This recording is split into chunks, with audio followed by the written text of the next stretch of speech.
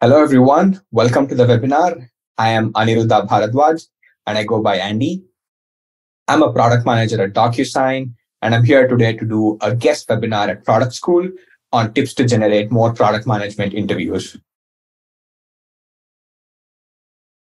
All right. So today we will be going over five most important tips that have helped me and all of my friends over the past several years that reach out to me regularly um, they've also tried and tested this, and it's uh, proven to improve your chances of getting more interviews. Then I'll also share an additional point specifically for university graduates, and I'll be closing by uh, providing more details on how you can connect me, connect with me on Twitter, LinkedIn, and my email ID as well. As I mentioned earlier, um, I work as a product manager at DocuSign. I've been here for the past two and a half years. I'm currently a product manager on the DocuSign mobile app. Um, before this, I was a product manager on the API team supporting the entire real estate use cases. Um, so, given my technical background, um, I'm an engineer turned product manager. So, um, I started off as an API PM and now I'm on the mobile team. And I graduated from Duke University in 2020. And since then, I've been uh, working with DocuSign. So with my intro out of the way, we can jump right into the tips. Um, the first tip that I have for you today is that LinkedIn is pretty crowded. Don't get me wrong, LinkedIn is a great tool, but it's extremely crowded by job seekers. And I see my feed full of people who want a job commenting for better reach, which is not reaching anyone ironically anymore because everybody is looking for a job. LinkedIn is like an echo chamber where everybody posts for the posts that they they either got laid off or or or looking for a job and it's pretty saturated. On the flip side platforms like twitter my feed is full of tips and tricks of how to be a better pm tweaking your go to market strategies and so on. I love to hang out on twitter and i see all of the senior folks senior level pms and decision makers startup founders also hang out and share their thoughts on twitter all job seekers, once they get a job, will also migrate to Twitter just like I did, but it'll take time. Um, so you see already the divide here where job seekers are on LinkedIn and the decision makers are on Twitter. So you want to be where the puck is going and not where the puck is currently right now. So reach out to people on Twitter directly to increase your chances. A lot of the senior PMs share their thoughts so you can add value by commenting insightful details to their Twitter threads or to their um, tips that they share. Get on a call, slide into their DMs. That's a way better way to network and to get um, um, informational interview from these people who share these tips. Remember, you want to be where the puck is going and not where the puck is currently. And all the decision makers are on Twitter and different platforms. So some examples that I wanted to share here is Shreyas Doshi is an OG in the product management space. And he recently reached, he recently shared a tweet where he crowdsourced a bunch of um, product management recruiters in the space um, with their LinkedIn title and their name. Um, and you can already see that it's already crowdsourced and helping a lot of people, but nobody ever knew about this because you're not on Twitter. Similarly, a second example here is Shaan Puri. He's a great uh, angel investor, and he shares a lot of his uh, portfolio companies looking for who are looking for talented engineers and product managers like yourself. So just being there and uh, being there and you know adding value to this community will go a very long way. And it doesn't necessarily have to be Twitter only. It could be a plethora of different platforms like Reddit, Product Hunt, Meetup, Lunch Club AI. The possibilities are endless. All I'm trying to drive home is LinkedIn is pretty crowded take the principles that you have learned from LinkedIn and try to apply it to different platforms like Twitter, Lunch Club, Reddit, and so on. All right. The second tip that I have is to convert your project to a product. Case studies are great. They're a great way to learn what you've already, to implement what you've learned in, in the class, but they're not flying anymore, unfortunately. The competition in the product management space is just immense and everybody is doing a case study. So take your project and convert it into a real product by launching it to real users. Provide value for free. That's the mantra. If you want to stand out, you have to provide value for free and show that you have some real world metrics. it doesn't even have to generate revenue. Nobody's asking you to launch your own product, or I mean, nobody's asking you to launch your own startup. No, you don't have to go fetch VC funding. All you have to do is convert your side project to a product and get some metrics in, real world metrics in. This could be anything like number of user signups, monthly active users. It could be paying customers. It could just be sheer growth. It doesn't matter. Recruiters and hiring managers love this when you can take a, an idea from a project phase to a product phase because you learn a lot in this in, in, in this entire process, like go to market strategy, pricing, and whatnot. Um, you can also go viral organically and generate more interviews, which I'll share some examples in a little bit. So uh, even if it has 10 people on the pro- on the platform, that's fine. That is real world users. That will go a way longer than your LinkedIn post on you know sharing the PPT slides that you have done previously. So here is an example case in point. Resume Puppy started as a side project where graduate students Anish, Shravan, and Simon realized that they needed a system to beat the ATS. And in the process of optimizing their own resumes, they created a tool that could also help others leverage this tool and generate uh, resumes that will pass through the ATS system. They had thousands and thousands of new users sign up in the first few weeks itself. It doesn't have to be revenue generating, as I mentioned earlier. It could just be the sheer number of users signups, downloads, or monthly active users, or even just growth in the process that you can show that how you went to go to market. And you can talk about this in your interviews. And this, I'm pretty sure, landed a lot of recruiters and hiring managers reaching out to them and sliding their, in their DMs, asking about the product and asking for their time to schedule an interview with them. Another example here is Tanmay Duri on the left hand side is was one of my friends and my peer. He built a prototype suggesting how LinkedIn could improve one of its features and showcased it to the crowd. Guess what happened next? It went viral. See the second image here where Monica Lewis, who's the senior director of product management, noticed this and he com- she commented her entire team. It went all the way up to the chief of staff of product, uh, to the product officer at LinkedIn. It's pretty huge what you can do with some of these um, opportunities that we have now. You can go viral overnight, and I'm pretty sure Tanmay got a slew of recruiters DMing him about these opportunities. so you can generate uh, interviews not just by outbound um, um, opportunities, but also inbound opportunities. You attract talent, you attract uh, recruiters to you, and this is one of the great ways to do it. So taking from a project and converting it to a product, it doesn't have to be picture perfect, doesn't have to adhere to standards of prototyping or UI design. It could be scrappy. It could be on um, dot .squarespace.com domain. Nobody cares. Just host it somewhere, let it, release it to the public, get some real value from these users, and showcase it to your network. Uh, showcase it to the recruiters. Excuse me. the third point that I have for you is networking reimagined. What I mean by Reactive networking is when you reach out to someone and get on a call asking them for a referral. This is truly a hit or a miss. And most people are weary about referring people that they don't know. I've done this too, and I'm guilty about it. So the solution to this problem is something called proactive networking. Make a list of the target companies that you want to work for and start reaching out to these people to understand more about their role. Even though there is no job opening right now, show that you're genuinely interested in this company, learn more about their role. The goal here is to build a relationship with these people, even when there is no opportunities at all in that space.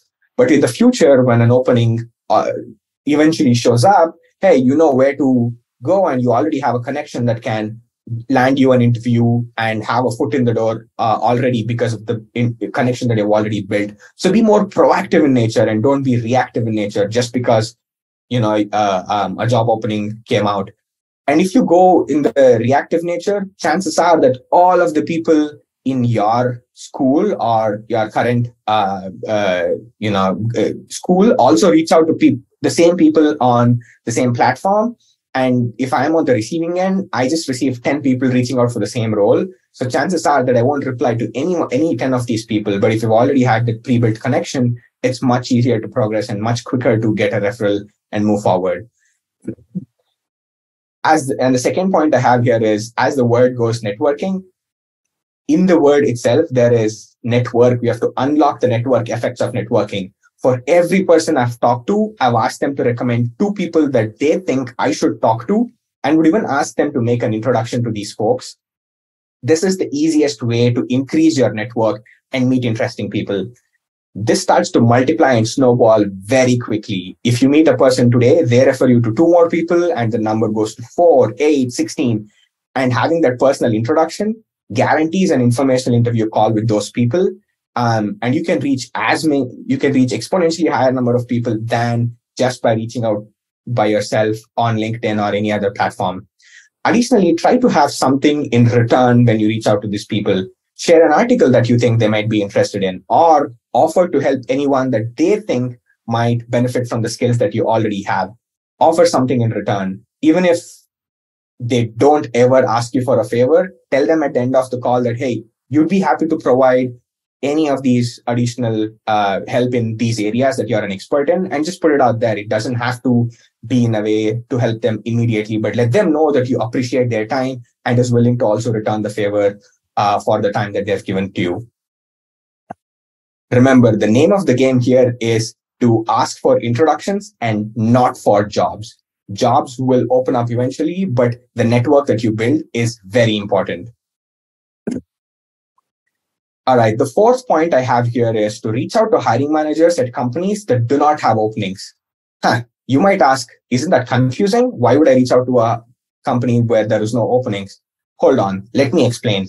This is one of my favorite hacks that I use to practice, uh, to do mock interviews and practice with hiring managers that could potentially hire me at some time in the future. I used to get interviews, but I used to fail them and get rejections from all of these. And the recruiters would never give me feedback that got me thinking, what am I doing wrong and how can I improve? Because I had no or very little feedback at my disposal. So I started to reach out to these folks at director level and who are not hiring and would ask them if they could do a mock interview with them, ask them, uh, uh would uh, ask them to ask me questions and then schedule a separate five minute at the end to get the feedback. And they would blatantly give me feedback because they had no obligation to hire me. And this was a game changer. I learned a lot of the things that I was, uh, you know, uh, failing and I used to tweak them and interview with the next person. I did this repeatedly and I became very good at interviewing over time. And this is also the easiest way to simulate um, how much you can um, um, how much you can know when you're actually interviewing with a random person. So you put yourself in the driver's seat um, and this also uh, an anecdote that happened to me was I was interviewing with one of the uh, decision makers at a company X, but he was not hiring. He was so impressed by my uh, profile and the way I interviewed with him that he put me in touch with another hiring manager. He sent me a note insisting that the other hiring manager who was hiring actually talked to me and that opened up another interview. I didn't get the offer. That's a different story, but you can you can already see here that if people really like you and the way that you interview and the way that you're proactive they will reach out to their peer directors at different companies or even their own company where they're hiring and a word from them could just be a game changer and it will guarantee an interview for you moving forward.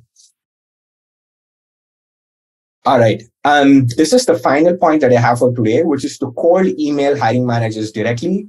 And uh, a secret tip is this is how I got my current job at DocuSign as well. So you can skip the recruiter and directly email the hiring manager, which majority of the people are not doing. They just apply on a LinkedIn portal and hope that they get an interview. But this process will not uh, go a very long way because that's that's what every single other person on LinkedIn is also doing.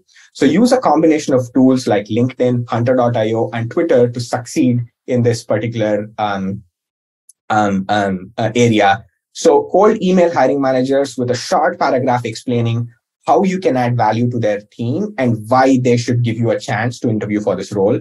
I used to include why as a major component and how I can add value to their um, team. Getting an eyeball, getting eyeballs from um, a hiring manager is way more important than an ATS system automatically rejecting your application because your keywords didn't match uh, in the preset job description. So here is an example that um, I I have done in the past.